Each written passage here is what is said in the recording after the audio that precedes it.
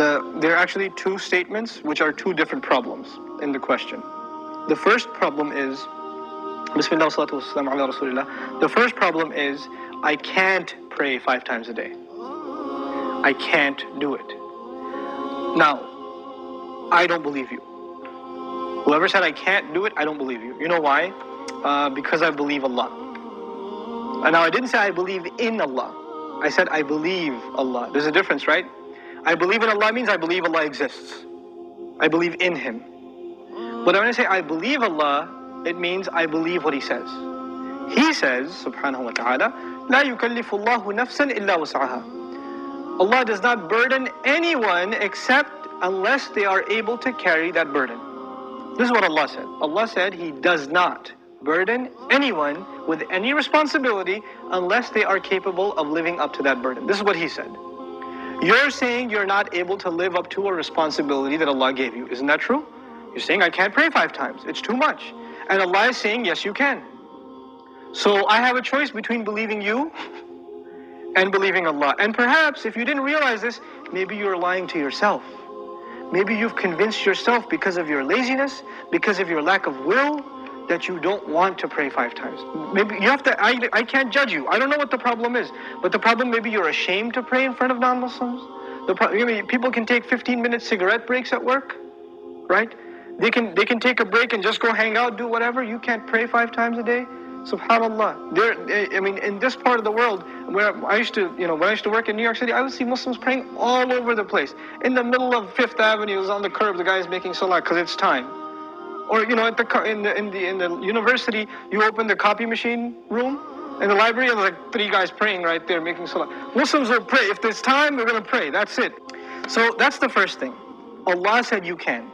If so, if Allah gave this burden upon you, and He did, in fact, then you can. Convince yourself of that and, and rely on Allah, He'll make it easy for you. The second question is Does He really care? Does He even care if I pray or not? Now, this question is actually more about does He need my prayer or not? You're forgetting that the prayer isn't for Allah, it's for you. It's not for Allah. If all the people in the world, all they did with their life was pray to Allah, it would not make him any richer. Any, his, it wouldn't add to his kingdom because he already owns all of kingdom. And if no one mentioned Allah ever again, it doesn't diminish his dominion, his kingdom, his glory in any way. He doesn't need us. We need him. We need him. So the question is, do you feel like you need to pray? Do you feel like that's a need in your life? And if it's not, if you feel you're free of, you know, begging Allah for His help, turning to Allah and submitting before His commandments, then that's a serious problem with your faith.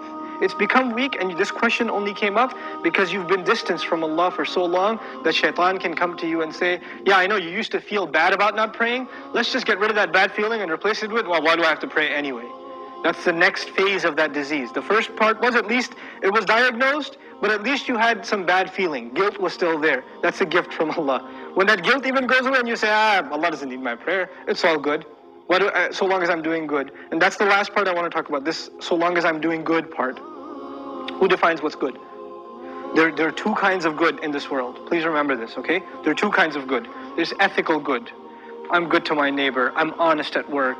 I'm nice to people. I don't steal. I don't cheat.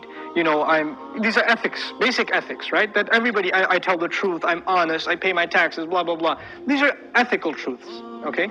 And I'm honest in business. Then there are religious goods. I go to Hajj. I give zakat. I pray five times a day. I fast in the month of Ramadan. These aren't ethical realities. These are religious goods. Good deeds that are religious and good deeds that are ethical, moral in nature. What happens a lot of times with Muslims and with non Muslims, especially it happens with Muslims, is that we make a distinction between these two things. So in the Muslim world, you will find people that are morally good. They're nice to their family, they take care of their kids, they're responsible in the household, they're nice to their neighbors, they're honest at work. Good people. But guess what? No religion. I don't need religion to be good, is what they say.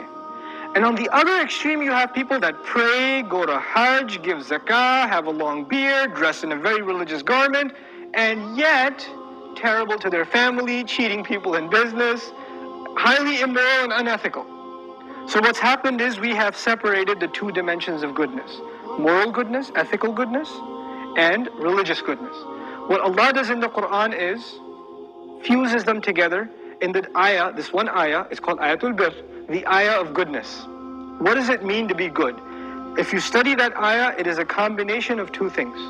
It's a combination of ethical principles like fulfilling your promises, being patient, perseverant, you know, and also religious goodness, establishing the prayer, giving the zakah, right? So it's it's a combination of both of those things in one place. So if you think you are in a position to define what good is, most likely you're sticking to moral goodness and you're undermining religious goodness, like the rituals that Allah taught us. But what Allah wants is for us to have both at the same time. This is when a person is truly good. Otherwise, you're not really good. You, are, you have defined goodness for yourself and you have rejected Allah's definition of it. But we turn to Allah for guidance because we can't define things for ourselves. We want Him to define them for us. Inshallah ta'ala.